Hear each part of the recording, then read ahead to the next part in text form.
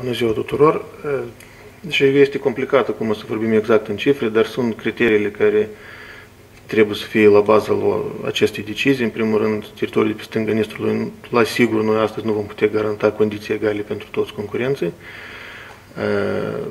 Doi, noi putem lua și din experiența altor state, de exemplu, pe exemplu României, o țară cu populație în jur de 20 de milioane, au atribuit diasporii patru locuri în Parlament, necătând la faptul că au și Parlamentul. E, patru în Parlament și două în Senat, șase per total. Șase per total, dar Parlamentul e în jur de 300, peste 300 de deputați. 462. Deci ei în Parlament și în Senat, dacă nu greșesc eu, în jur de 600 de deputați au, și-au pe... Da. Da, da. Bun. Deci, ar fi bine să studiem și experiența lor, criteriile pe care, dar dacă o țară într de mare cu patru locuri pentru diaspora, cred că la noi ar putea să fie și mai puține.